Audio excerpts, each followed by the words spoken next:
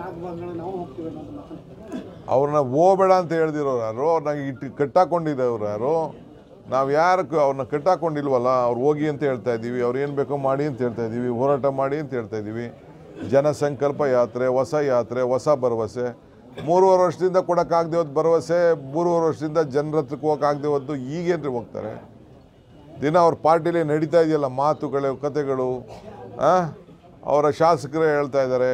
ನಮ್ಮ ಸರ್ಕಾರ ಬರೋದಿಲ್ಲ ಮುಂದಕ್ಕೆ ನಾವು ಆಪ್ರೇಷನ್ ಲೋಟಸ್ ಮಾಡಬೇಕು ಅಂತ ಹೀಗೆ ಅವರು ಚುನಾವಣೆ ಮುಂಚಿತವಾಗಿ ಅವ್ರು ಹೇಳ್ತಾ ಇದ್ದಾರೆ. ನಮ್ದು ಹಂಗಿಲ್ಲ ನಾವು ನಮ್ಮ ಕಾಲ ಮೇಲೆ ನಮ್ಮದೇ ಸರ್ಕಾರ ನಾವು ರಚನೆ ಮಾಡ್ತೀವಿ. ಓಕೆ ಅದೊಂದು ಒಳ್ಳೆ ಪ್ರಶ್ನೆ ಕೇಳ್ತಾ ಇದ್ದೀರಿ.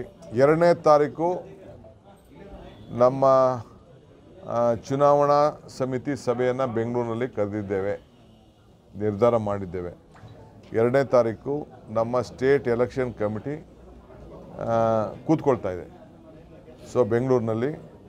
ಅದಕ್ಕಿಂತ ಮುಂಚಿತವಾಗೆ ಬೇರೆ ಈಗಾಗಲೇ ನಮ್ಮ ಎಲ್ಲ ಜಿಲ್ಲೆಗಳಿಗೂ ಕಳಿಸಿಸ್ಬಿಟ್ಟು ನಮ್ಮ ಯಾರು ಅಭ್ಯರ್ಥಿಗಳನ್ನು ಆಯ್ಕೆ ಮಾಡಲಿಕ್ಕೆ ಒಂದು ಸ್ಮಾಲ್ ಶಾರ್ಟ್ ಲಿಸ್ಟ್ ಮಾಡೋಕ್ಕೆ ಕಳಿಸ್ಕೊಟ್ಟಿದ್ದೇವೆ.